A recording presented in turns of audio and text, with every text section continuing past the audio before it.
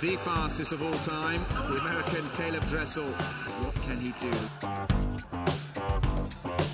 But this 21 year old Singaporean, Joseph Schooling, what a superstar. Schooling's reaction time in the semi-finals was the best by far of everyone, and he starts well again. Dressel, great reaction as he always has, and look at the underwater for the American, already rising in the first place. That Schooling's looking good and right on that world record time.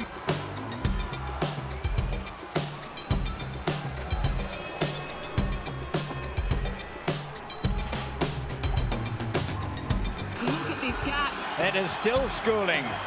And he's a body length clear almost. Can he hold on? Now he's on world record pace, and this is magnificent swimming from Caeleb Dressel. All drama, all action. Joseph Schooling, simply sensational. In the closing stages, Dressel just gets his hand to the world, and it's a world record, the second individual world record of the week, and it falls to Caeleb Dressel.